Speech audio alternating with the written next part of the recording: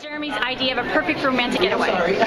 Oh my lord. I think he would love to go to like the Virgin Islands or some like beautiful like island paradise and you know have the woman would be there, but mainly it would be Jeremy by tanning, covered in oil by himself.